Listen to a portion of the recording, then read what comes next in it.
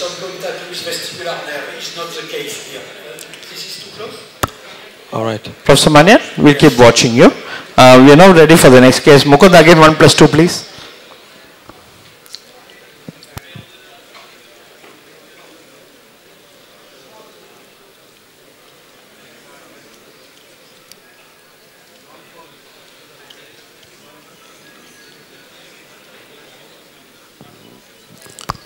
Yeah, ma'am. Go ahead. Anand, Uh, sir. uh, Yes, Dr. KKR.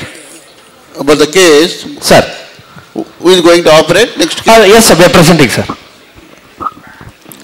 We have a 14-year-old female presenting with left profuse mucoid ear discharge of 3 years duration and progressive reduced hearing on the left side of 2 years duration.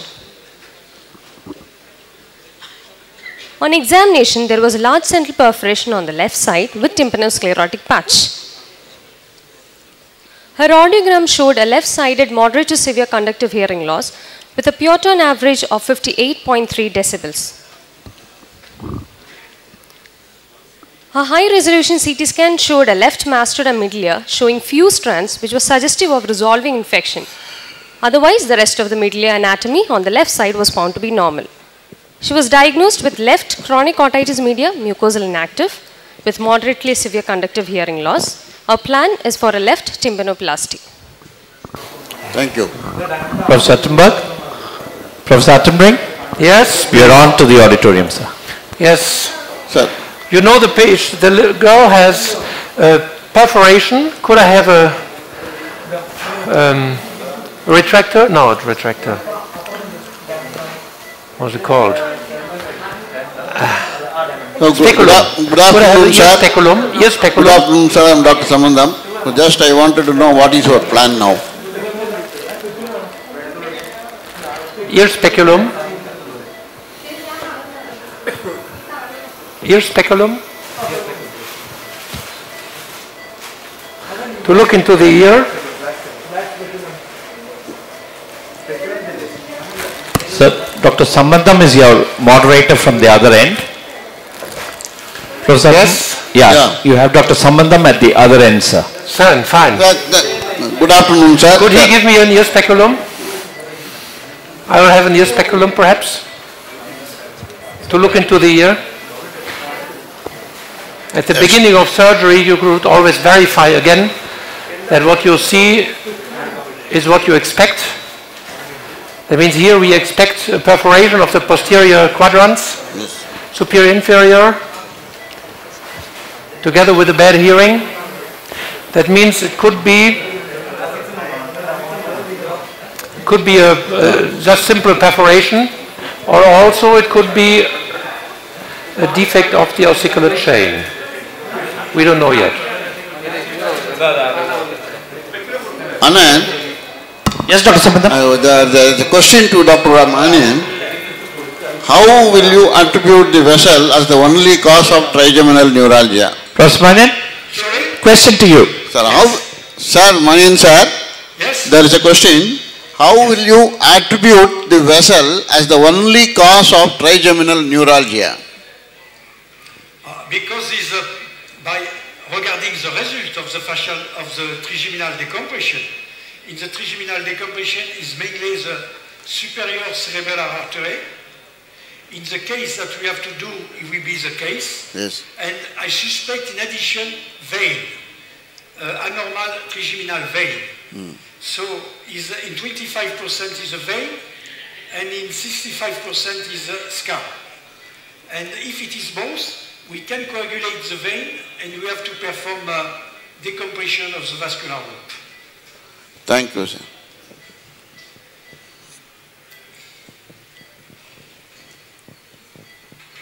Uh, And then we can go to Dr. Huttenbrink.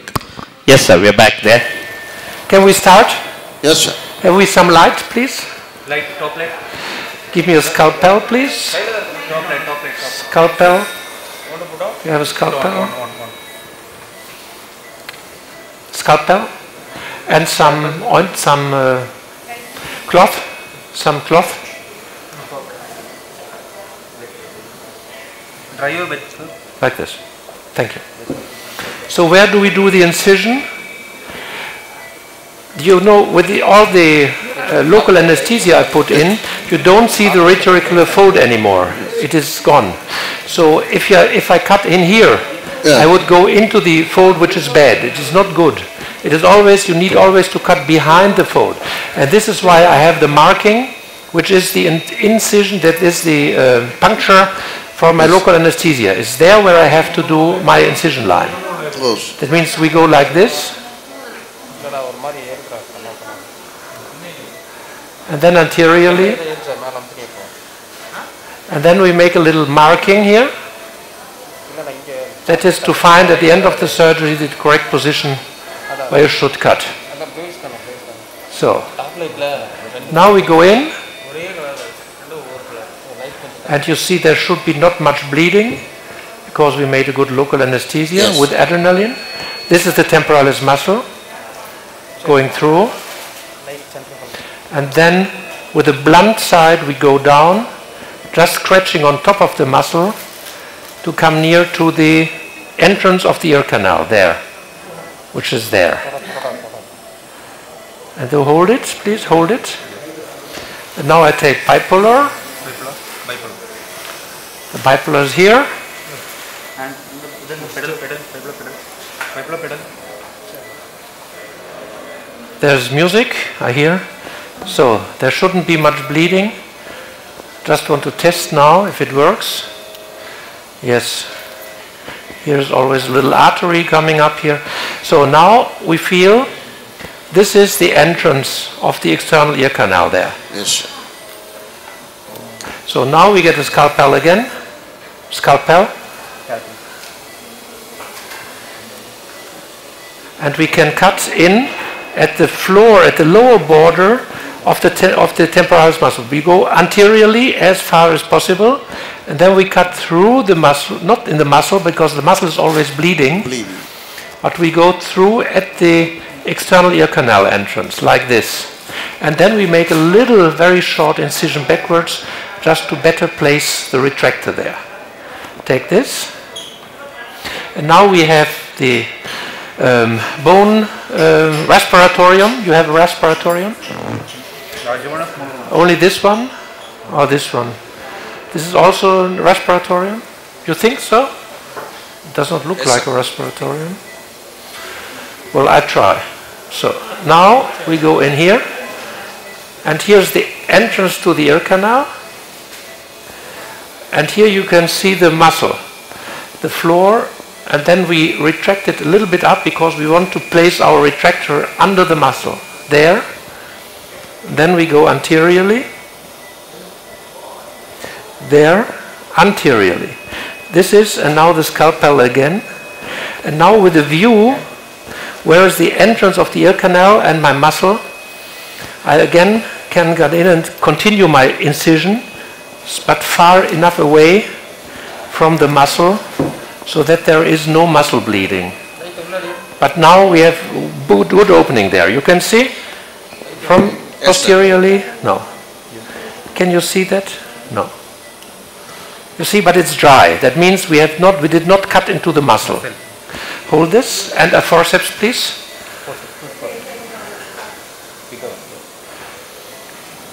So now, now we have already lifted up more or less the skin of the external ear canal, and now we can cut in 45 degree angle into the skin of the posterior canal wall, like this, and here again like this. And now retractor. Mukund, we can This stay with two only. You only, only two. big- you do, don't have small retractor? No. Only this big one? Okay. Okay, okay, if you don't have. We have to work with it. Okay. No, it's okay.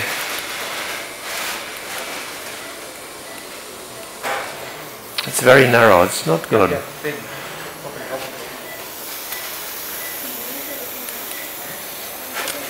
I have to play around a little bit because this is a very uh, no close open open on both sides no no no no no close let it Don't need. I want to have one with this, this on both sides. Do You have that? Can you hold this? Can you hold this? So we have to improvise a little bit. Improvisation like this. Hmm. Okay. Oh yeah, this is better. So take this. Here into it and here into it. And the second one? Bigger one, sir, smaller one. If you have a small one, it would be better. If you have no small one, I take a big one.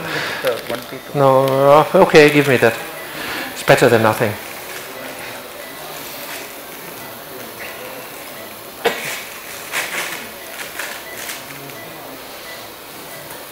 Okay.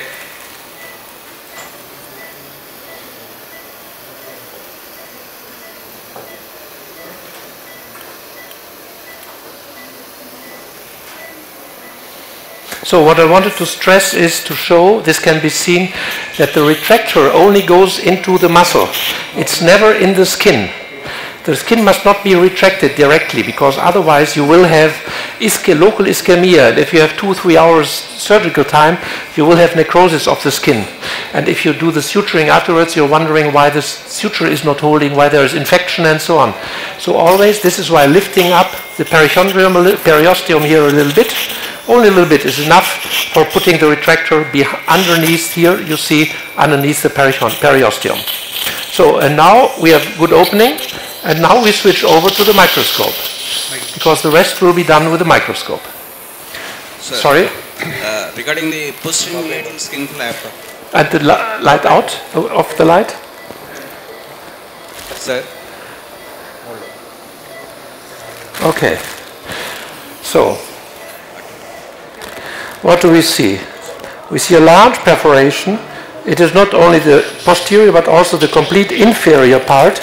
So we will do what we have seen today in the bipolar. We have what we have seen today in the um,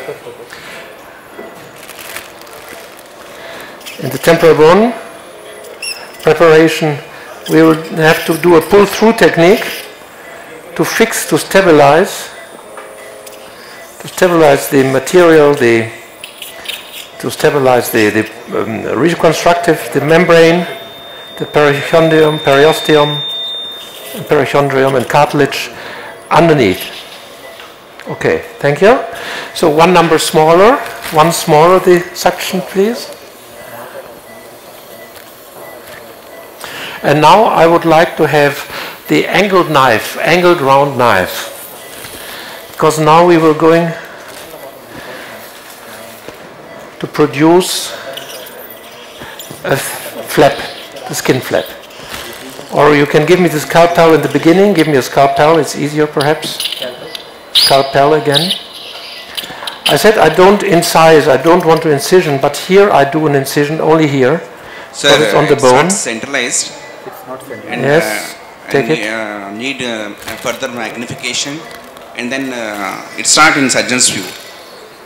Where is the, this is the So camera. rotate it onto the right Could side. you, where do I increase the magnification of the camera? No, no, this is magnification for view. I want the magnification Is, of the is he camera. inside? Is the industry person inside? The camera is fixed, there is no mag... You only can increase it. Oh. Like this? Yes. Yeah. Uh, there is no surgeon's view. Surgeon's view So, uh, angled knife. Angled knife. Angled Cam- camera is uh, rotated on more onto the right side, sir. Pardon? What? Camera rotated to more onto the right side. It's not surgeon's view. Uh, could you just see the television? So they feel that it's rotated a little to the right hand side. The camera The camera. image. So the this is image seems to be posterior. rotated. No, this say. is posterior. This is superior. okay, okay, sir. This is superior. Okay. So it is a, a defect, you see a kidney-shaped defect of the sir. tympan. But we'll look into it in a second. So now we try to lift up the tympanomeatal flap. And here's the skin, which is adhering quite strongly to the bone. In this region it's always the same. and we lift it up here. Like I said today, uh, lifting it up in a way that as if we want to take away a little bit the first layer of bone too, like this. And now we can go deeper. You don't inject into the external canal skin, sir. Pardon? You don't inject into the external canal skin. This is the canal skin wall. No injection. What no injection? What does it mean inject? What do you mean with injection? Some people inject before elevating the flap. No, the no. wall. Why? For better uh, like uh, Oh, but you can do that just simply like this. You see, if you if you adhere to the bone, if you do the lifting off as if you want to take away a piece of the first layer of bone. Oh, I lose the the suction is not very well, It's not stably fixed there. So now again we go down. Could I have a scissor, please? And here you see it is very thin, the skin, very fragile. It consists. Scissor, please. Could I have a scissor, please? A scissor. I tried to cut this with this angled knife. A scissor. Oh, don't you have a smaller scissor? No.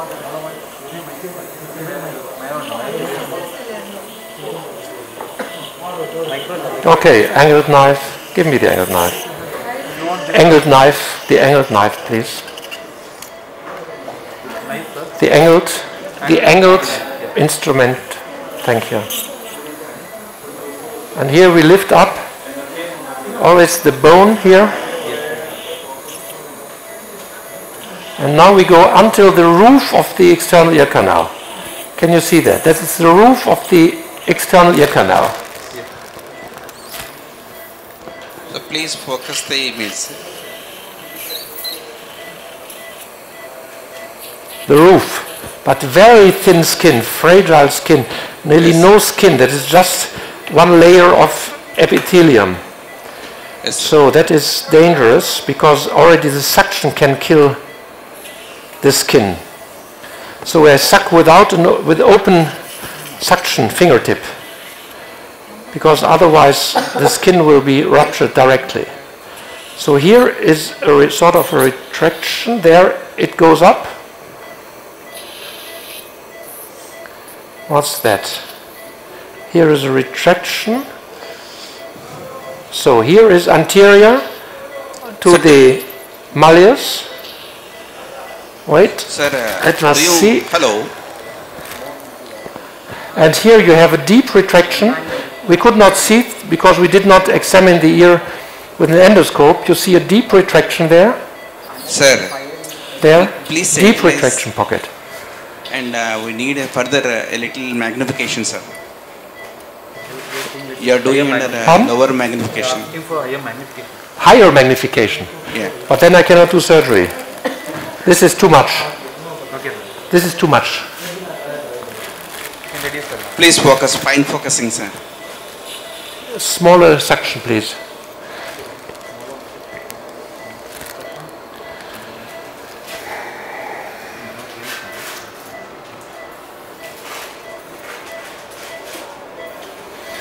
Wait, I have to adjust the suction. No, I take a thinner suction because it's so fragile. I have a burr, I need a diamond burr, 4 millimeter in the beginning. Diamond burr. So here, so here we said anterior. This is the anterior rim Yes, sir. of this deep retraction. Yes, sir. That is not sharp. Now Do you use sharp. any cotton balls or uh, gel foam? No, uh, no, no. I see where I'm working. Cotton balls will will not help me. Any gel foam? While, No. uh, What for? I have I have my cleavage placed here. Here. sir. That is, I have lifted the skin off the bone. Yes, sir. Here is a deep retraction pocket.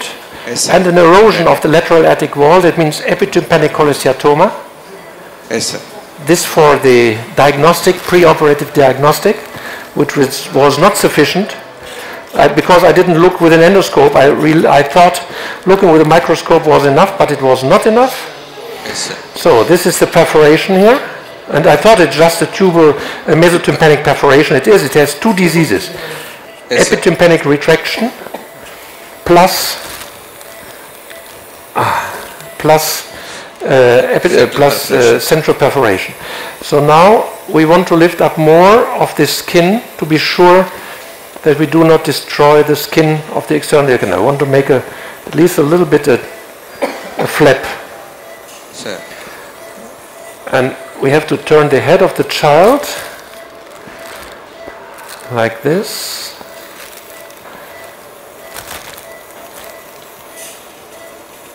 So please centralize the picture, sir. Pardon? What? Please centralize the picture. Center? Centralize. This is not Has centered. gone up. Uh, yeah. Aha. Like this? No, no. It has gone down. Yeah. It's enough. Uh, yeah. Fine. So again, here we are at the posterior wall.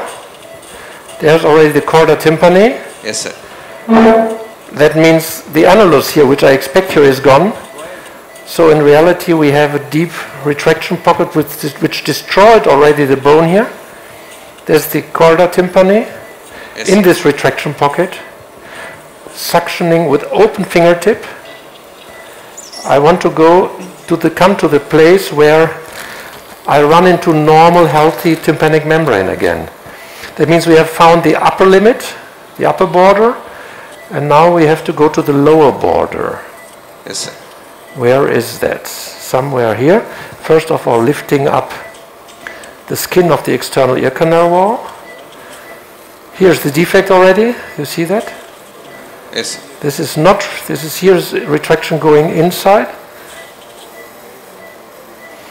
And then very fragile skin. You see there's directly a little perforation occurring there. Doesn't matter because anyhow we have to rebuild it afterwards with the cartilage. And now you, under, now you see, I just was thinking in the beginning, should I already take the cartilage for the reconstruction in the beginning? And now you see why that would not have been very wise.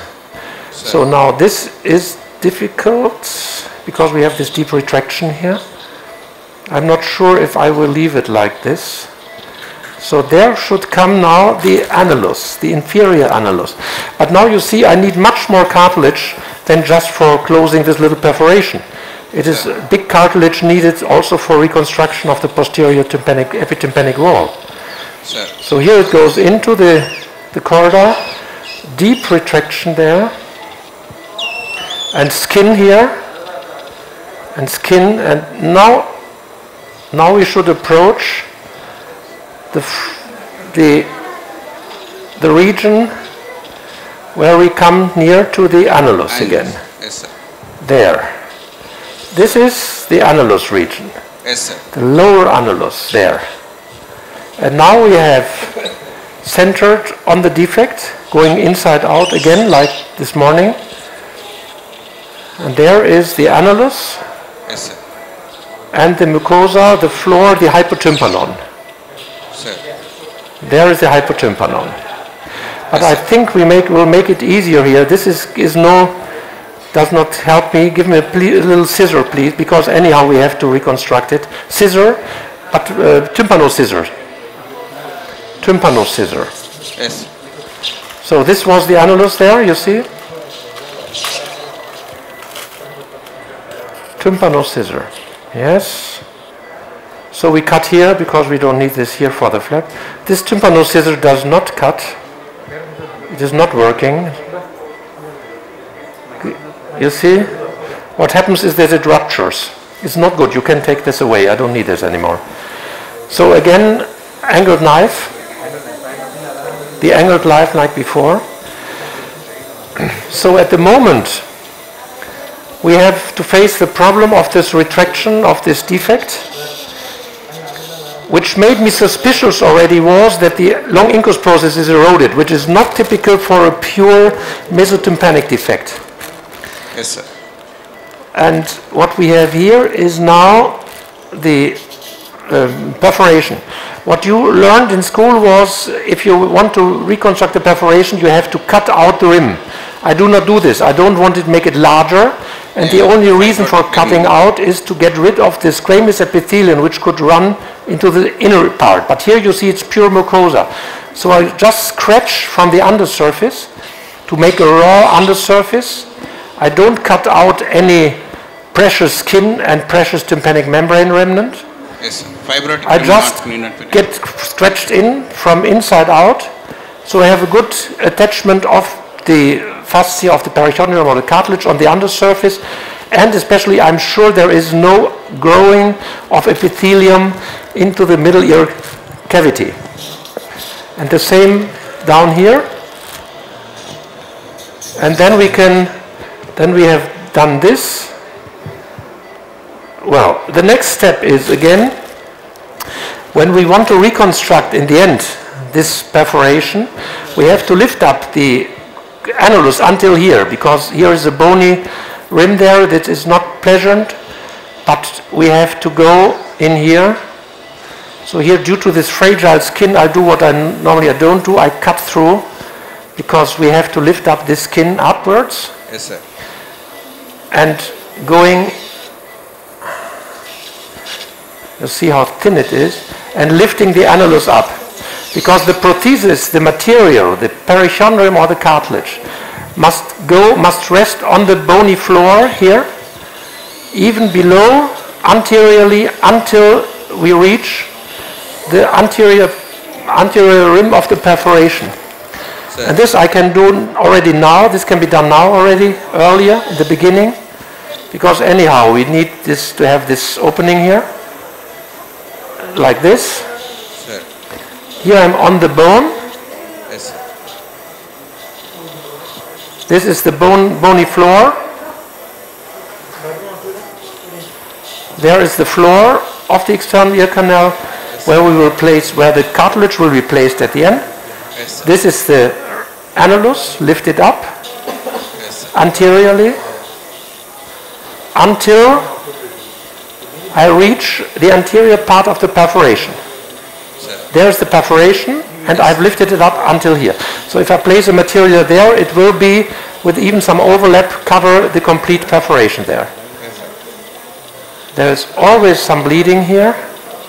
Well, perhaps we will enlarge it here a little bit in the end of the surgery with the cut with the diamond burr. This is this was the simple thing, just looking at the perforation, Sir, which we thought would be. Anterior superiorly there is a So- tympanosclerotic uh, block is there, sir. Pon- I don't understand. Was that for me? Anterior superiorly. I don't understand. Is there any tympanosclerotic patch in the No, anterosuperior this is region? normal. That's what they or want, some, sir. some hyalinization, some tympanosis, but it is not, not, so, not so serious. This you always find in these chronic ears.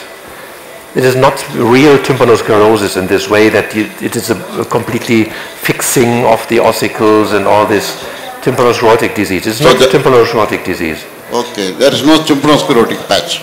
So here is some the chorda coming out, and you see the deep retraction. Never saw this. This is Yes, funny, can funny retraction here. Yes, that sir. the external ear canal has been bulging, has been bulged out so very much, and this is still the retraction. So what we do now is with the burr, I have to take away this bone here and here to have a better view into it. Burr, please. I will make a little bit less magnification for this purpose because attention I don't want I have to view I have a want to have a good view of the surroundings this is the burr so water water and perhaps the suction one number larger the burr and suction one number larger and then again what I told you I can open up the the uh, the retractors now because of the of the tissue relaxation there Cutting, cutting, Pardon? cutting. You are from cutting if you want, yeah. Hello. Sir, Yes. would, would you open the mastoid in this case, sir? What? Open what? Mastoid. No. Okay. Why? Why? I, I have a problem there, but not in the mastoid. Okay, sir. At the moment, I don't see what what what do I expect from the mastoid? At the mastoid, if I have healthy mucosa, then it's fine. If I not have not healthy mucosa, that is not dis- uh, is disturbing because Yes, the- it does not turn. The the burr is not working. The bird does not turn. So, and if the if there's uh, the mucosa is inflamed, that is not astonishing because this ear has a big perforation. So, uh, germs and bacteria from outer world could come in to the muco- to the mucosa of the mastoid. Yes, sir. And uh, so, but the mastoid is not the clue. No I need will, of, uh, I will tell tomorrow in my lecture Yes, sir. that we, I think we should really change our attitude towards cholesteatoma. In this way, let us learn from the rhinologists. Yes, in sir. former times, what did we do if they have, because the middle ear is a big sinus. I told this already when we talked about the tubal orifice. And if we imagine what we did in former times to the poor patient with their sinonasal disease, we operated the sinus, Caldwell-Luc uh, frontal sinus from exteriorly. And only now we have adopted in endoscopic sinus surgery the concept of drainage. And we just open the drainage from the sinus, from the maxillary sinus and ethmoid sinus to the, uh, to the nose, Yes, and suddenly everything heals. Since that time, I nearly, I- it's rare that I touch, that I open the frontal sinus. You don't need to, because you just you ensure a good drainage and that's it. So why open the mastoid if the disease is there? Yes, You have to get rid of the disease here, and then the mastoid will heal by itself. I think since many, many years I didn't do a mastoidectomy just for fun. Only, for example, in cases where we have a huge cholesteatoma, and Yes, now. I need um, a diamond. If we have a huge cholesteatoma, and especially for young doctors, young doctors have to train by mastoidectomy here. Yes, sir. And they keep the posterior canal, and then either huge cholesteatoma we pull through, or we come from here, intact canal wall, but it's no longer the therapy for cholesteatoma. It is um, Yes, mounting the horse on the wrong side. The disease is here in the middle ear, cleft near to the tubal orifice, but not at the tu- at, but not in the mastoid. So now we will drill away this posterior canal wall, which hinders my view into the retraction pocket region. Like here. When you drill here, you must always know where is the short process of the malleus here. Where is it? Where is it? There. To be sure that you do not touch it. Sir. So now this is the defect. Now it can be easily seen how large the defect is, nearly half of the posterior wall. That means in former times, when I was young, I asked my teachers, when do I have to switch over to radical cavity? Because large defects of the posterior wall could not be reconstructed just by temporalis fascia. And they said, oh, if half of the posterior wall is destroyed by the cholesteatoma, you have to perform a radical cavity. Yes, sir. But this is the old technique, the old thing, thinking, because at that period we did not have cartilage. Yes, And nowadays with cartilage you can reconstruct the complete posterior wall. So radical cavity is really left over for desperate cases where you have a huge cholesteatoma growing into every cell. This diamond is not very sharp. Can that be? If you have a new one, and the angled knife please again. I will now again check how far I am. Angled knife, please again. Angled knife. Angled knife, please. And an, another diamond burr, perhaps, is if you have a sharp one. If not, we drill. We take more time for drilling. So, there is the short process I wanted to see. There. Yes, sir. Always have to know where it is. This is the defect. There's the epitympanic defect. Here is the bone. Yes, sir. The suction is too large for this, but we need Fine. the suction for drilling. But here you see, this is the retraction. There. Yes. There. Now we can lift off the retraction. That's good. So we don't need to have much more drilling there. There is no needed. That is good here. Here's mucosa. You see that?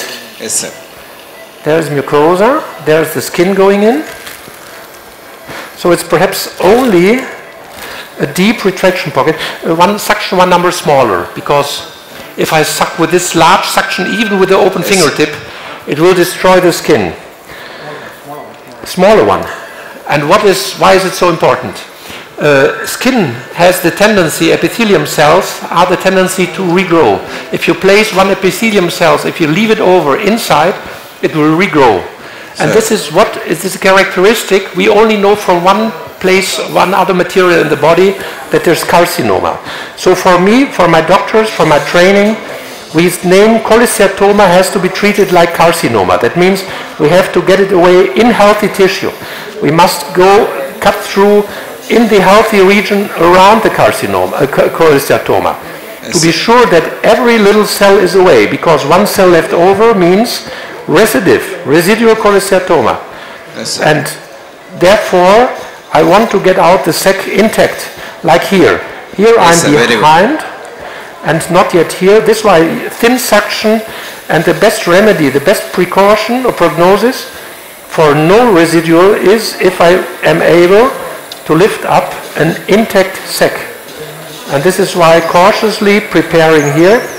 Here is difficult because it's so atrophic, but trying. This is the stapes Yes, sir. Yes, sir. tendon. There it goes down. And I think, yes, here we are fine. This is the incus. Yes, sir. And now we made it. We have gotten rid of all this retraction. Now a sickle knife, please. So what would you do with this chorda? The chorda is in the epithelium. So if you say cholesteatoma is carcinoma, would you preserve a chorda in a carcinoma case? No. So, so what I'll do is sacrifice this chorda. Anyhow, it was in the perforation, in this retraction, in the disease. And it is, by the way, and if I try to lift off the skin from the chorda, I would never be sure if every cell is lifted away. So, Yes, smell is not, the taste is not so, very important Yes, because we have six nerves on both sides, two on each side, which transmit the taste of smell. That is the facial nerve, the chorda, the lingualis, the hypotyp, the, the, the um, vagus, and the glossopharyngeus. So if from these six nerves, one is only destroyed, if it is destroyed, if it hasn't been destroyed yet, most times the brain doesn't even recognize it, only in stapes surgery. But in this case of chronic ear disease, anyhow, it has not continued its function. So uh, here we are, this is, here we are aggressive, that means active against the chorda. So again, this is the short process, this is the neck of the malleus, Yes, sir. and here we want to get rid, if that visible, of all carcinoma to carcinoma, cholesteatoma cells. That means we go from behind, from inside, from in the ear, outside. Never cut through the skin. So there we are, Yes, far away, a healthy mucosa behind, below. And so this is, and now we do the anterior tympanotomy yes, sir. there will be nothing because we saw already from the through the perforation there's healthy mucosa healthy mucosa of the middle ear cleft down there Yes, sir. and here is the and here is the anterior part and now of course there came today this discussion what do we do with the chorda? anyhow chorda is not working so I have a good good hole here where I can pull my perichondrium through so now this is the chorda. we only have one other solution. There could be one solution. If I manage to get this chorda free here, as I do an underlay with cartilage, it is not so important if there are some cells outside of the cartilage remaining because anyhow there will be So a lot of cells. Please centralize the picture. Not centered?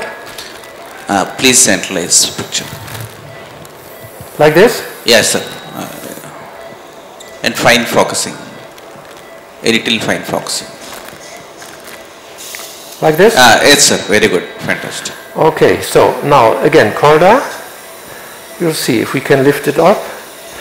If we would, for example, I would place the cartilage below the chorda, Sir. but ah, I don't like that. No, no, no, I don't like this. Because here you see that the skin is going down there. And if we treat it like cholestat, like carcinoma, is there skin in the hypotympanon? Sir. No. That's good. Give me a scissor. I will not preserve it. It's too dangerous. If I look at the, the, the scissor, the tympano scissor, the small scissor for tympana. So I will cut it here. Anyhow, there is also scar material here on the chorda. Did you see that? You have a new one? Yes, sir. No. No, I need a, a scissor. It does not cut. You see? You see, it does not cut. I don't know what this is, but this is not a scissor. It is not cutting. Give me an angled knife. An angled is an angled, not the angled. Give me a knife, um, um, preparation knife. No, not the angled. No, not the angle. So we cut with the angle. We cut through at the bony where it goes out. And here you see this is this was the problem that behind the chorda here, when I could not get rid get good touch to it, Yes, sir. there was the I have the impression that there is still some some skin going deeper. So now now we have it. Okay? Okay, sir. Okay, okay. So this is for eradication. We have the material here. This is the malleus here. Yes, sir. The large defect. We have to make a large reconstruction there. Yes, sir. and the complete perforation here from behind. Can you see this is the perforation there? Okay, so now next step will be Sir. what is with the ossicles? Please give me a sickle knife.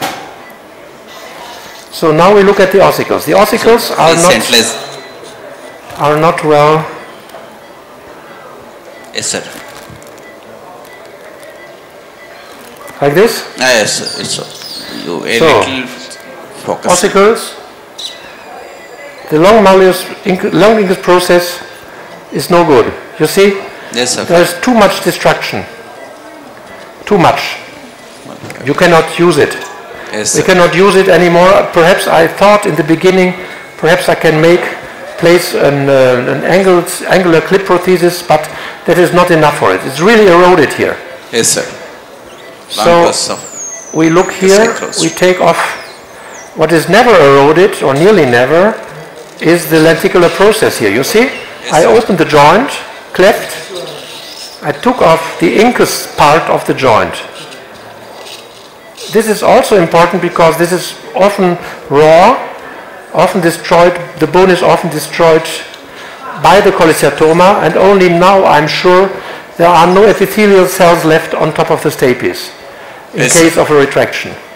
yes. And now what we do, we will place, the reconstruction is easy, a clip prosthesis on top of the stapes and cartilage reconstruction of the posterior wall together with the anterior tympanic membrane. So the next step, this was eradication. The next step is, of course, taking out cartilage. Yes. Okay. So, light. I need, I need more light. And the big macroscopic camera. Sir, the picture is very dull and uh, So the- some amount of brightness can be there dry- and uh, No. you can still clear, uh, clear the field and uh, show us, sir, because not very clear at all. Did they take with me? Was that for me?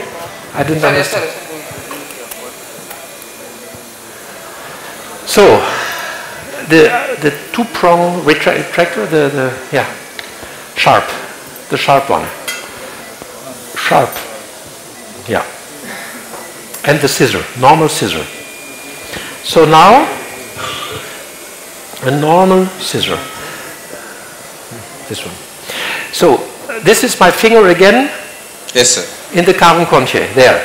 There Yes, we want to take the cartilage. Here we have a lot of cartilage. You see, without any aesthetic problem there. You see? Yes, My sir. finger there, the retractor there going up here, like this. And then we just go in. We have two possibilities. The first one, the easier one, give me a scalpel. We do it in the correct way. Scalpel, scalpel. I feel with my finger where the cavum conchae is. And now I can cut in here, cut through the skin, and uh, through the um, connective tissue Yes, down until I reach the cartilage here. And now I can take the scissor and expose the cartilage Yes, with its perichondrium. We have the problem here that we have no, that there is no cartilage cutter. So we have, improvisation is needed. So there is the cartilage. You see the cartilage? Yes. Nice, white. Give me. Okay, like this, pull. And you can have a, do you have a second one?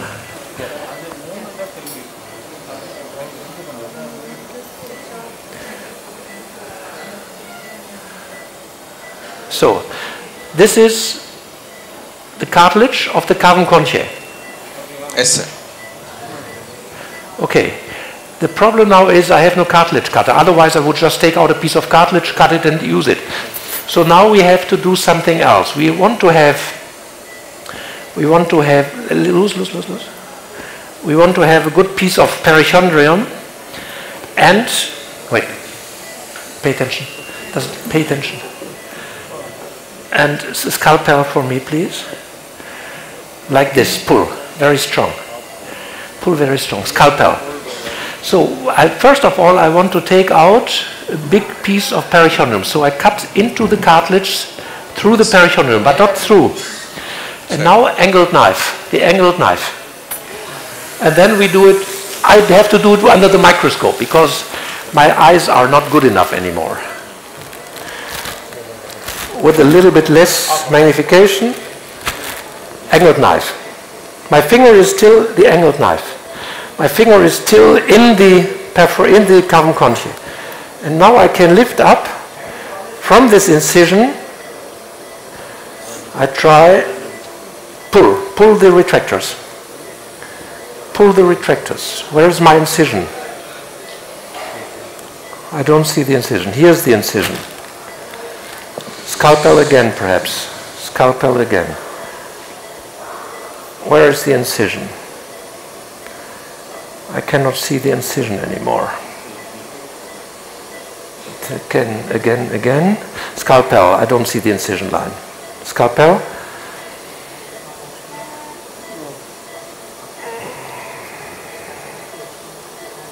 And this is the incision Sir. through the perichondrium. Now, again, angled knife.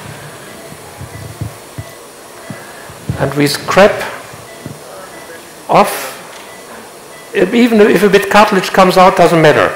Because anyhow, we have to have cartilage there. So this is the perichondrium. Is that visible? Yes, sir. We go here until we reach the scalpel. It's better to, to use, to go step by step and not in one big step. And again, again we take out here this perichondrium here and now upper side. And which makes it easier if we want to make it easier we just take a piece of cloth piece of cloth. Take this take this piece of cloth and you just wrap it round. You see Yes, sir. blunt loosening can you see the perichondrium Yes, coming yes, off smoothly. Yes, sir. like this. And again, the scalpel perhaps better, because there it stops the incision. Incision stopped here.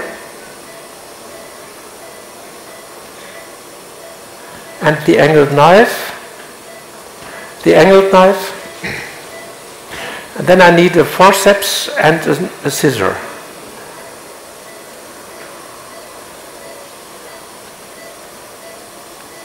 Now here we are, forceps scissor, and now we can take away the the perichondrium, which is still too thick, Sir. but we'll have to make it thinner afterwards. So like this here, cutting it off.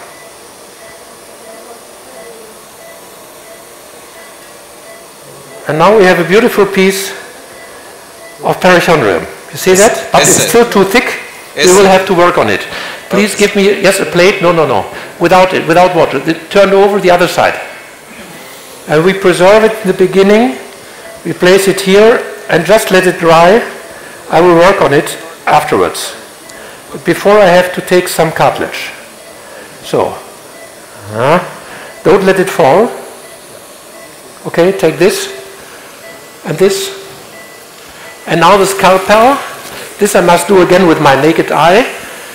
Lead, stay in, stay inside. No, no, no, no, no. Stay in, stay inside. No, you see, there. And now, well, we have to skeletonize the cartilage, like I showed in the temporal bone today. More light, please. And I need thin cartilage for this young girl. So we have to cut through this cartilage in a thin way. Take it.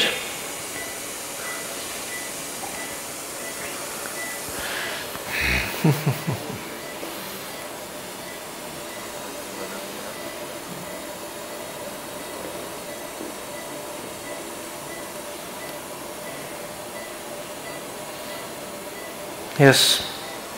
Pull here. Sir, if you have a cartilage slicer, I have no cartilage cutter. That is my problem. okay, if you have, what is the uh, dimension of the cartilage slice you take? The what there? What is the uh, thickness of the cartilage Ah, that depends. I, I can decide with my slicer, with my cartilage cutter. I, I would, for example, for the tympanic membrane, I would use cartilage of around 200, 300 micrometer. I could give in a lecture, well, but tomorrow, well, I have no time for this. Now you see there's still cartilage on it, Yes, sir. and uh, I, I hope that we will have enough cartilage. Wait, again, pull. That is not so very much, but the rest will be anyhow done by the perichondrium. So, fine, that is all what they have as material. Sir. And now retractors again, and retractors. Go out, out, out, retractor. And now we put in the retractor again. Yes. One, and the number two. Yes. Okay. And now we have to work a little bit on the materials. No, leave it, leave it, leave it, leave it. Leave it. Don't let them fall. Leave it. Don't touch. Don't touch because it's dangerous. This is what is not the first time that it is destroyed or that it's fallen down to the floor. So we do it with a microscope because my eyes are not good enough anymore. Sir. I need a, a scissor and a forceps.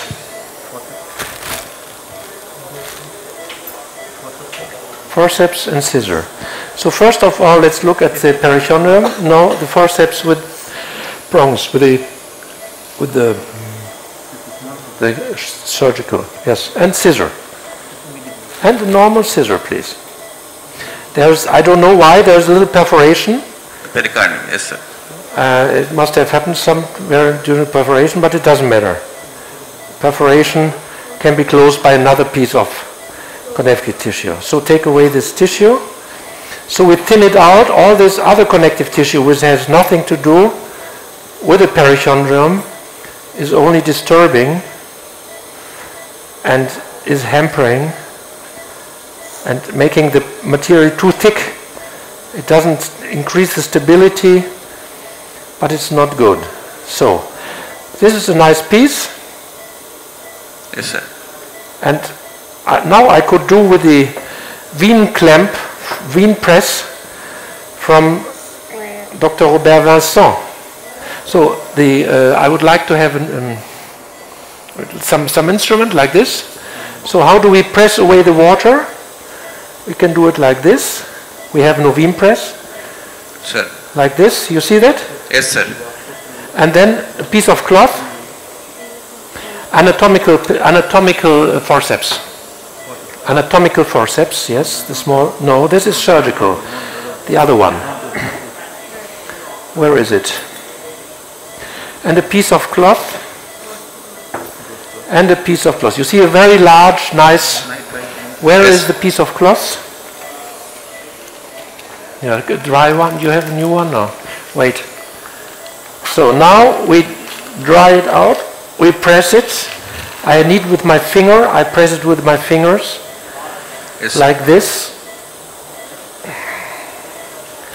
And then after several times pressing, it is fine. Anyhow, we have time. We can let it dry it out a little bit more.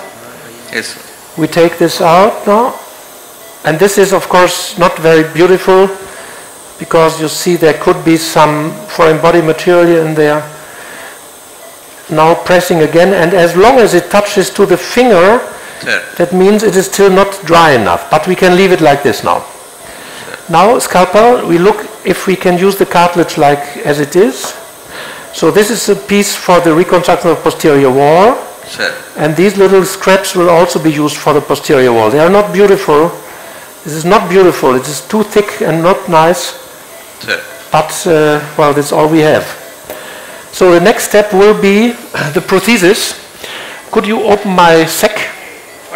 My, my, my prosthesis. I brought this course prosthesis with me. So the first one will come into use. 4.5 clip, Dresden clip. Where is the 4.5 Dresden clip? Look at the, no, no. This not? No, no, no, I don't know. It's too fast. I cannot see. For 2.5, or the, yes, this 2.5, this one we'll use.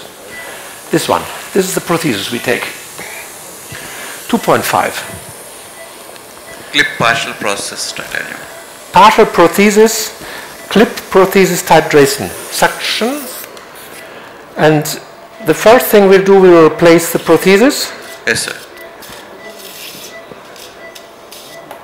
And uh, again, stop. And then where is my, stop, my, my sack, my plastic sack? You can open this up already. Where is this plastics? And uh, sorry, I have to uh, put it out. Could you please place it there? Take this away and place it there. Everything. No, otherwise that I can see what it is. That I can see what it is. No, this is the same. So put this aside. Put this aside. Yeah, this you don't need. This put aside, aside, aside, aside, aside, aside, aside, aside, aside. No, no, no. Put them aside, aside, aside, aside. All the suction tubes I don't need. I don't need the suction tubes. So these are important. Put them out. What is put them out? All, everything. All these things there, more, there, more, there, more. Because of more. I brought for two surgeries. Sir. Yes. Is there more? No. Gel foam, you have this. You have gel foam and all. No. So what I need is, this is only, unfortunately I only brought one. Take this one here. This one. And open it up. Uh, what, what I do now is I want to Please prevent, I want to prevent, and, and this, yes, this you can open up. Open up. Open. Cautiously, cautious, yeah. Do not let fall down. Cautious, cautious, cautious. Okay? Leave it there. Don't move. Don't touch. And the other one is, please give me this, this one here. This, Please focus it. this, you can Focus give. it. Focus it. Silk transfer. This is prefabricated Okay. silicones. This last one, this is for the external ear canal. Sir. This is for the external ear canal and for covering the tympanic membrane. But this is the important thing. Why? This is silicone sheeting which we designed, which I I made a lot of measurements from temporal bones, from uh, radical cavities. And why? what is that for? When we reconstruct the tympanic membrane now, we want to prevent any adhesion between the reconstructed material and the, that means the tympan- new tympanic membrane and the promontory. Why? Needle, preparation needle. If we have a contact there, there will be a, a, a- a blockage, there will be scar tissue growing, and there will be a blockage between the undersurface of the reconstruction material, needle, of the reconstruction material. No, this is not a, this is a needle? No. this is a hook. Just a needle. Normal needle. If you have. No, no, no. This is not a needle. Fine focusing. Show me a needle. One needle only. No. This is, what is that? This is a micro-raspatorium or something. That is not a needle. No, give me this, what you gave me the beginning, the, this uh, angled hook. Angled hook would be okay then, if I have nothing else. So here is the promontory. This, Yes, is the pro, this is the malleus from the under surface. So if we place something between and it adheres to the promontory, give me the angled hook. Then there will be a blockage here there will be a, a contact zone here, no vibration and so on. So we must prevent it. How do we prevent an adhesion between the reconstructed undersurface and the promontory? By placing a very thin silicone there. Yes, sir. And so now please could you give me this or open it up? I will, I will do it myself perhaps better. Uh, because I've only brought one with me. So, we open this up. It is, it is uh, not colored because we don't want that any surgeon after this, afterwards, in the end, uh, less, less magnification, that he says, oh, what is blue? Why is it blue shining through the tympanic membrane? Uh, anatomical pins forceps, please. Anatomical forceps. Where's the anatomical forceps? Mm, where is it? Ah, there it is. It's difficult to see. That's why I need a microscope. There. Can you see that? No. Eh, Yes, sir. But you can I see that better here when I place it into the ear. Okay? Wait. Suction and needle. Suction and needle.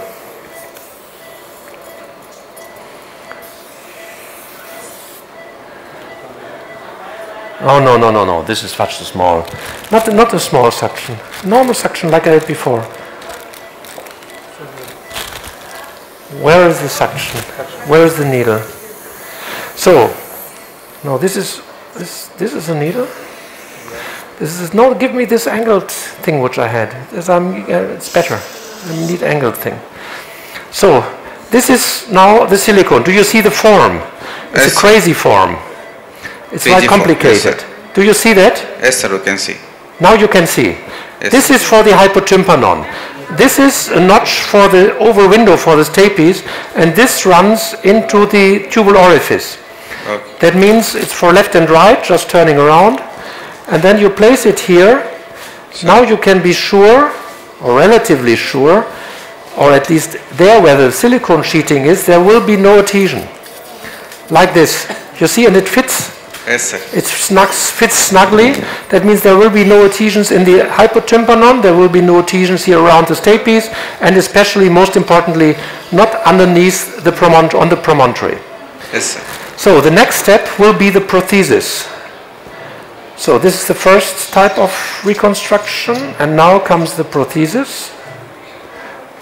I open. Will you open, or I better open it up myself? Give, give it to me. Where is the prothesis?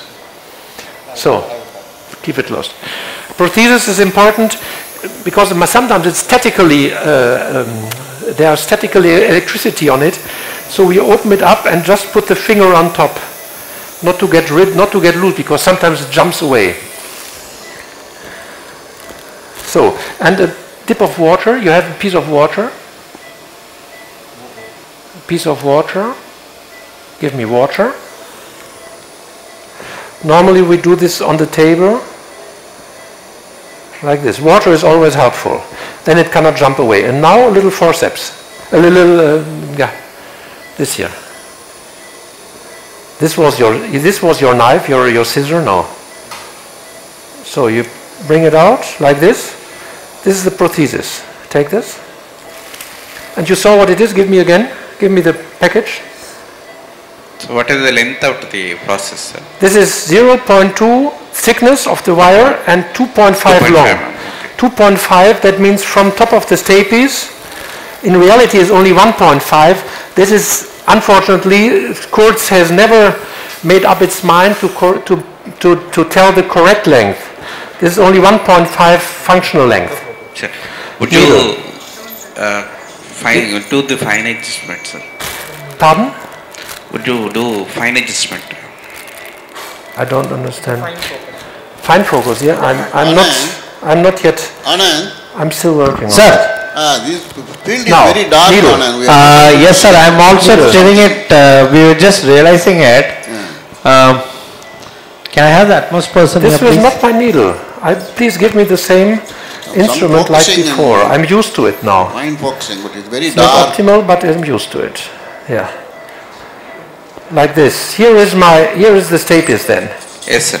You see the stapes. And here we get rid again of all these blood clots. And we must, left and right, must be free because these little feet will go into it. And then it has a little, for the surgeon to help him, this little, you see this little knot here, titanium, this shows backwards. And then you just put it on top of the stapes. Here it is. These two go left and right of the stapedius muscle and you just press it down gently and then it's stable. You see? Sir. Simple and easy. You saw that? Yes, sir. And it does not dislodge. Yes, sir. Very simple. And now what we can also do is here, you saw the incus eroded. We can place him here, a little bit like this. It makes an additional stabilization and I luxate the, the, incuda, the malleolar incuda joint was luxated by this maneuver, but that doesn't matter because it will, it will heal not very good functionally, but it will be stabilizing Yes, and so we can keep it here. And now the next step is the perichondrium. Now, please. Just need to increase the light intensity. Why? What the light intensity? They are saying that it's dark. No, no, no, no, no, no. Yes, I, and it was nearly full. It was nearly full. Like this. So needle, and please give me the the material. So again, we will pull through here, through the anterior tympanotomy here. There is free, and there two here anteriorly. We must go very far anteriorly. Put before you insert it, take out the, all the blood clots, all the blood, so that it doesn't hamper. Here we are anteriorly. Okay, okay. Now, give me the perichondrium, please. Where's the perichondrium? with, the, with the forceps, yes? With the forceps, not over the, over, the, over the floor. Never over the floor, only over the table. Yes, and pay attention to the cartilage. So now this is, unfortunately, like this. You see, this is the perichondrium, Sir. and we will place it a bit, place it like this.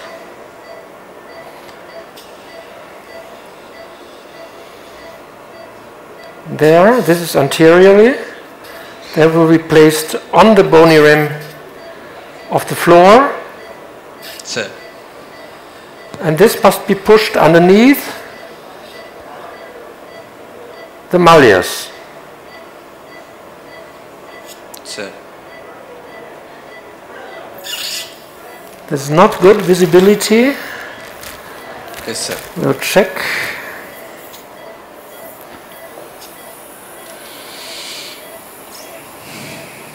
Uh, uh, uh, that is not good. Where am I? There, there, there. And you just push it anteriorly until I can grab it through the posterior to the anterior tympanotomy. Yes, sir. And this has to be placed on top over the prothesis. This will be here in the end. Yes, sir. So, and now we look through the anterior tympanotomy. Where is it? There is the material. Yes, sir. Cautiously pulling it with the suction. Yes, Could you please close the door? That is a bit too loud. yes, sir. Could you please close the door? It's too loud. Fine adjustment, sir. Fine. Okay, here we pull through Yes, sir. anterior tympanotomy there. So that is fixed. There can nothing happen. Yes, sir. And now we'll check again at the lower part because with these manipulations sometimes it's, it's pulled out, pulled away or whatever it is. So again, this was the tympanic, this is the tympanic membrane. This is far anteriorly there, very far anteriorly. This is the floor, so we have a large, nice material, reconstructive material, and now we can even pull it, pull it onto onto the floor of the external ear canal wall on the bone. Onto the bone. There, there it is, resting on the bone. And now comes the interesting part. That means around here, this is the posterior rim, like this. And here we will place the cartilage in the afterwards. So this must be placed on top of the prothesis because it goes underneath the malleus, underlay. So, and now the cartilage, please. And this is here the periton, the, the, this uh, silicone. You see, Yes, sir. there's no danger of adherence there. Yes, sir. So cartilage, please. All the cartilage, please, into the ear. The advantage of this cartilage placement is that you can check, that you can look, all the cartilage, all the cartilage, please. All pieces of cartilage here, all pieces here. And now I can check, it's a little bit like a house builder who has his logs and his wood and whatever it is. That is all? Okay. And now we can check how we can build it.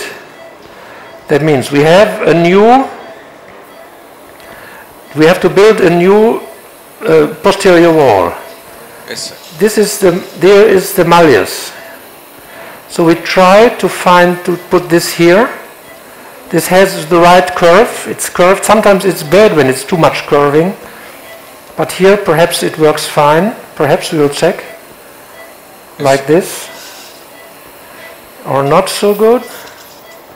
We must play around a little bit. This is not yet optimal. Like this, which stands on the, on the prothesis. And you see the prothesis makes it stable. Yes, sir. This can be placed here on top of the prothesis again to have a stability there, Sir. like this. And these parts here will reconstruct the posterior wall. Let me see if I can reconstruct. Yes, I can perhaps do it in this way, that we just place it here underneath, like this. Yes. This will be pressed. Ah. This will be pressed upwards like this here, resting on the bony rim. There's the bony rim. Yes. So we reconstruct the posterior wall from here, like this. Here. This will be a reconstruction of the posterior wall here. This was the indentation where, we, where the fish, where the chorda tympani when came out. This is not good here. Sometimes we can cut it even with a needle, if it is pure cartilage, like here. Place this here. Now let's check. Now we pull back the skin. Should have done this earlier already because there's still too much blood, which makes, due to this clotting, makes it a bit difficult to see. Well, now we spread open the skin of the posterior wall. Sir.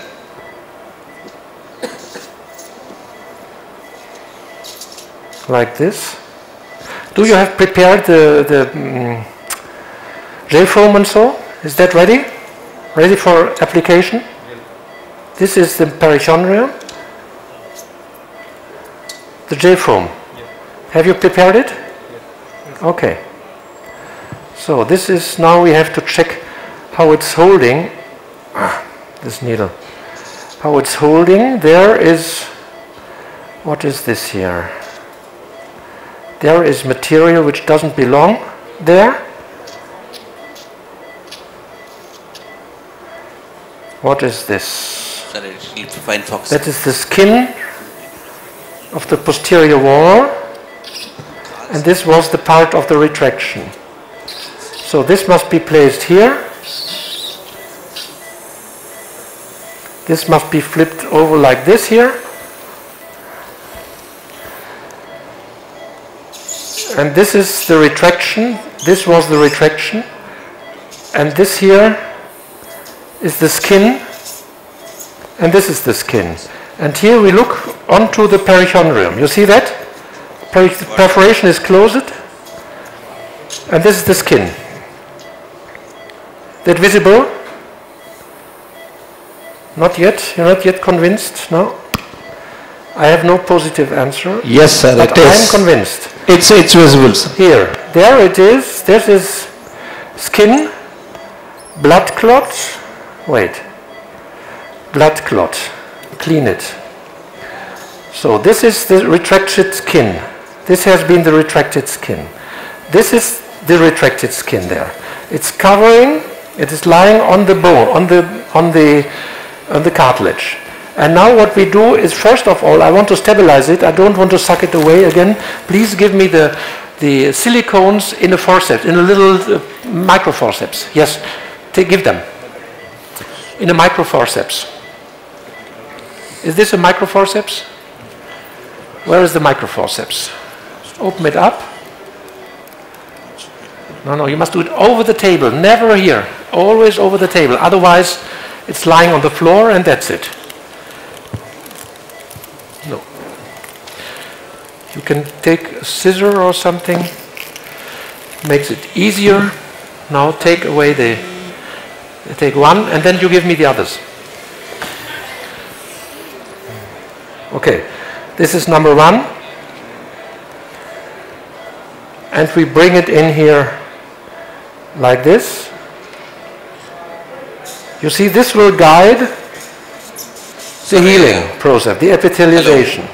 Next one. Excuse me, sir. Pardon? Where is it? Sir, I need, no, no, I need it with the forceps. Where is the, f- again, I didn't understand your question. Please. sir, the silicon sheet uh, kept in the middle ear, is it permanent or to be removed in the future, sir? I didn't understand. Please Question give me the next one. I didn't understand what you asked. I didn't got it. In the middle ear? Yeah, excuse me, sir, there is a question from the delegate. Yes, please. He wants to know whether the silicon sheet you have kept. uh, Yes. The When silicone sheet on the promontory. Next one. Yeah, This is, of course, a question which you can ask. The first thing is there we have a lifelong experience with good silicone, medical silicone, not the bad one, the good one, which is used for other purposes, for example, by ladies which have big silicone implants, also for lifelong in other parts of the body. okay, sir. First of all. Second is, you don't ask this for the titanium prosthesis. But The titanium prosthesis is also lifelong. So this is, and until now, the, we have experience with silicone since the 1960s. I'm not the first one to use them. They have been used a long time already. And uh, we have a good experience. I did revision surgery 20 years after placement of a needle, after placement of a prosthesis, uh, of a silicone. And the silicone was stable in the ear, healthy mucosa on top, and nothing happened. So silicone was very well tolerated in cases where there is no infection, where there is no problem. So what I want to do now again is to show you, to check, is it really correct what we did? Okay. Lifting it up, is sucking out the blood, and there is the silicone. You see? Yes, sir. You see the tympanic cavity?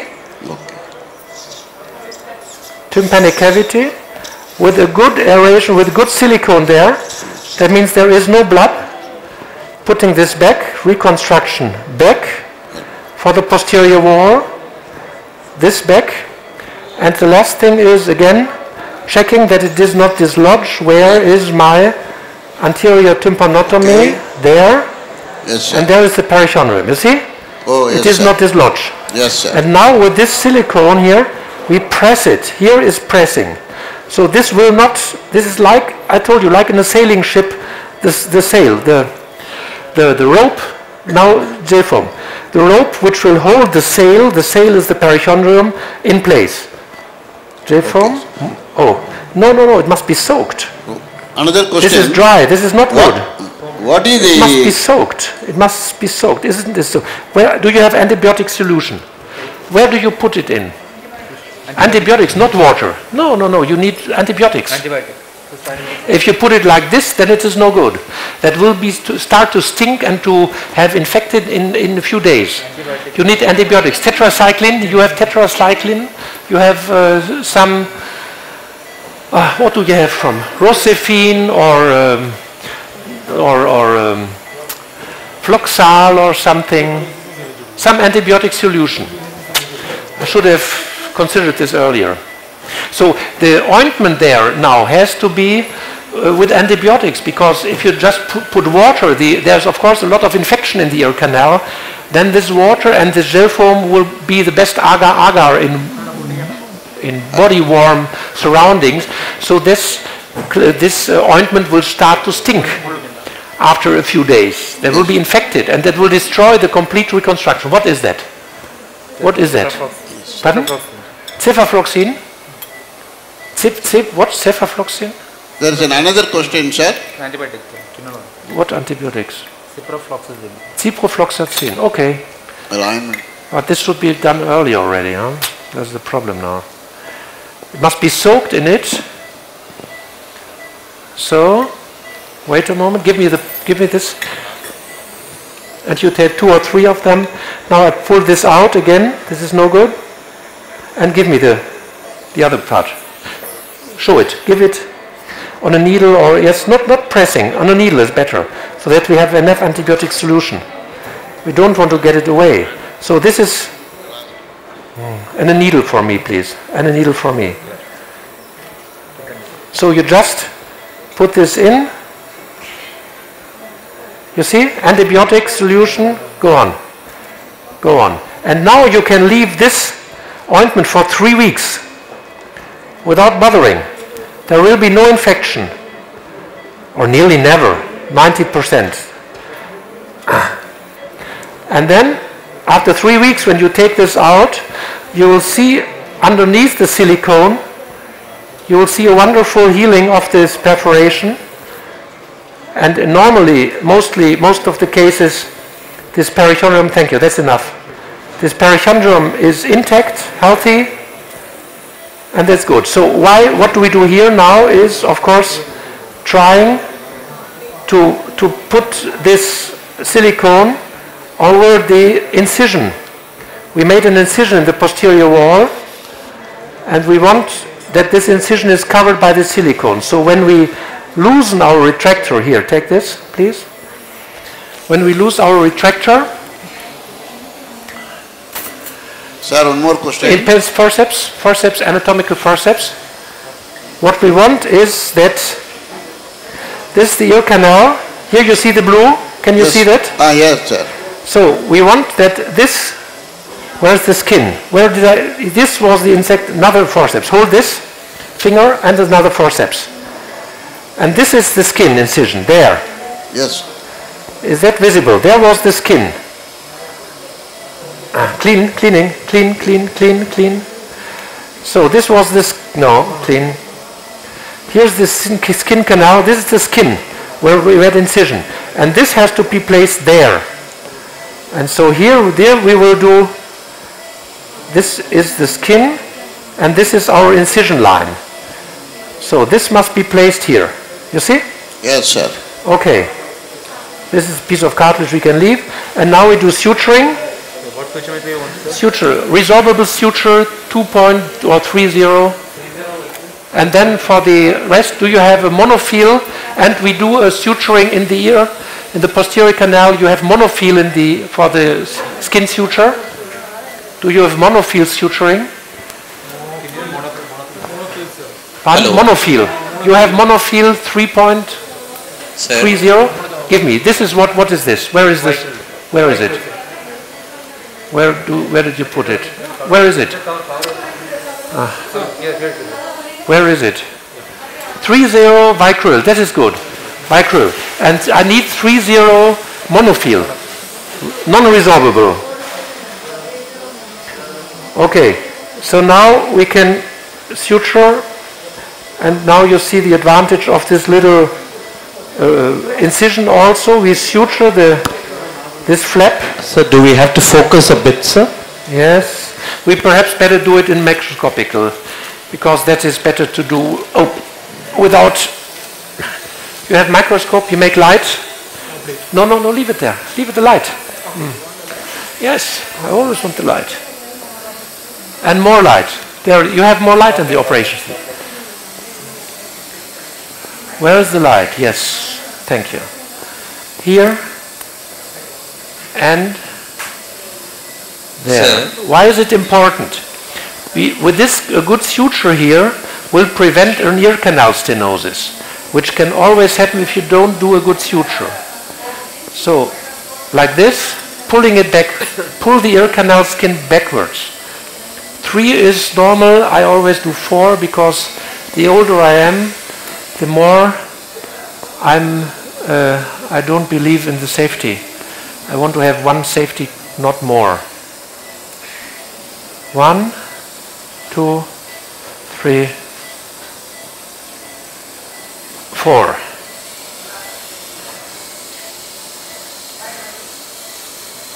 And upstairs also here, temporal muscle towards the perion, periosteum there. And now it is closed. This has not much function there. It's enough, three. Sure. And then, where is our indentation? There you see the little mark which I placed like this. And the other part is there. And you see the skin is fine. There is no indentation mark of any retraction, retractor, uh, Yes. ischemia or something. That will be a good healing. So. Yes. No, no, no, no, leave it. So now we can do the skin suture. And then afterwards, we'll have to look into the ear canal to flip back the silicones, to really to position the silicones in the correct way here. And now the skin suture. Excuse me, sir. In former times, when I hold it, hold it, hold it. In former Sir. times, uh, this could be done by the young doctors, but now, with this new technique of the silicones wrapping and so on, I have to do it myself because this is the best precaution against an ear canal stenosis. Cut Yes, here. I think there's a question for you, Cut sir. here. Yes, please do. Cut. Please So, say. What is the thickness of uh, silicon sheets uh, you kept in the externiometers? The silicon sheeting where? Kept in the externiometers. What is the thickness of the This, silicon this is the same, 0.13. It is nearly like the tympanic membrane. Zero, tympanic membrane is 100 micrometers and the silicone is 100 micrometers, 100, 130. Yes, sir. So uh, nearly the same. So very thin, very fine. What is So- the price of the each unit, Oof. sir? Each Oh, you ask me rupees? I don't know. sir. You must ask the distributor. That depends from country to country. Perhaps I could imagine that in Germany it's more expensive than in your country. Yes, sir. You must ask the dealer. Uh, there are different different producers. By the way, this blue color that Sir. was invented, I was a young doctor in my clinic in Münster because we had to take out these silicone sheetings in radical cavities. We sometimes put in five or six of them. And Yes. if they are not colored, it's difficult to see them. So uh, the young colleague of mine, he put it into a, um, a box of methylene blue. You know the, the dye, Sir. the color, Sir. and it, they turned blue, Sir. and then they remained blue. It was fantastic, and that was the solution. And then afterwards, Sir. well, the companies took over. They are also existing in, in yellow, I think, or in in brown. I don't know, but but but blue is the most used time. Now cut, cut. Okay, thank you. And now stop. We are not yet ready. Give me a, a piece of cloth. What do we have to do? We have to guarantee a good healing. That means always put the wound, make the wound in this way Please that focus. the focus. pieces of the that the skin is getting not overlapping. that the skin is not overlapping but just going one everting. against each other. This is good surgical, general surgical technique. So now, the posterior thing is opened. You can leave this in one week. This is no problem. You can get it, you can cut it. And now we good, we have to go into the ear canal again. The ear canal is where? Where's the ear canal? There, suction. And now the speculum again. Do you have a nose speculum? No, huh? You have a nose speculum? For a nose? Yes, nose speculum. Nose speculum. You have that? That with this you can open the ear canal easier. And here you see the silicones already. Fortunately, this young girl has a very large ear canal, so that will make it easier for her to have a good, good drainage and a good aeration of this tympanic cleft, uh, tympanic membrane. So here, this is always bare bone. There's always bare bone. And here, here you see the silicones.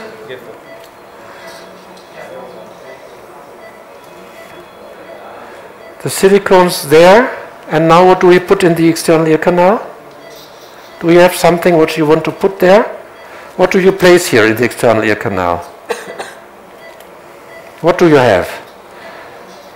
Well, you have to place something here. What do you put here? Yes, sir. What do you put? So, Merocel. I have one, this silvery, the lower part, very low. No, this is not for me, Medtronic. No, no, no, no, no, it's there. No, no, no, no, no, no, no, no. This is the, the lower part. This, if you open that up, and you, you take this antibiotic solution, the rest in the syringe here. Yes, sir. Could you put it into a syringe? Yes, sir. And then we will fill it up. You know this, huh? You just use always the same, always the same, always the same procedure. This is when I thought it was very expensive, but now there are cheaper ones. I don't know. There's So one, one part is expensive. show. Scissor, cut it open. Expandable uh, polyvinyl Cut. alcohol. Oh, cut again, cut again. Spitzel, this is. Okay. Ear. There it is. Where? Here, here it is. Here it comes. There. Cut it in half. You only need half of it. Because the rest is filled. The rest is already filled with the gel foam. And now give me on a forceps. Excuse me, sir. And put it there. Where is it? Yes, Sir? leave it. Yeah, thank. Yes, please. so what is that you are putting inside? And sir? now antibiotics. Pardon? What is that you are inserting into the meatus? I don't understand. What is it you are inserting? This, what, what is putting in? Uh, this is Merocel or what is this? Numerocell. Yes, sir. Thank you. Please give me the antibiotics. Where is the antibiotic?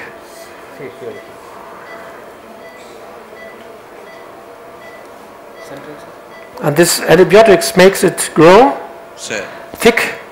And the advantage is in former times we pressed an ointment into the ear. And Yes. what was this? That was especially for young doctors. And now a little, no, uh, this one, is this, what is this? Cotton wool. Yes, cotton wool. Um, in former times, it was just pressing inside. That means the flaps were, were pressed inside. If you didn't pay attention, it was a young doctor. And then you open it up after three weeks, you had a ear canal stenosis. With this, is easy. You put it in and just expands like this.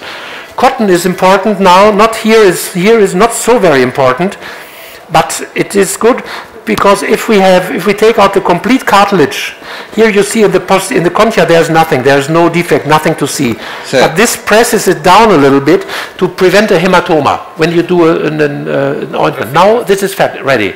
Now you can just wrap it Mukund, around. 1 plus 2, please. 1 plus 2. Pardon? No, sir. That's to the auditorium. Normal ear canal. Sir, normal when will you remove the Merocel pack, sir? When do you remove the pack? Can you remove Merocel the pack. The pack. The Merocel pack. This is done in three weeks. because it's antibiotic solution. Three weeks can stay like this, and after three weeks you pull it out, put out the three blue silicones, and then you have a wonderful ear canal and good hope also or starting epithelialization of the perichondrium underneath the silicone. And then you don't So need three- no, in this case, for example, I expect no more ointment. You just look, it's a bit raw, but you don't need eardrops, nothing. Just leave it. Thank you, sir. Thank you very much. much, sir. Thank you very My much. pleasure. Bye-bye. Mukund will go with one only, only one. Thank you, doctor.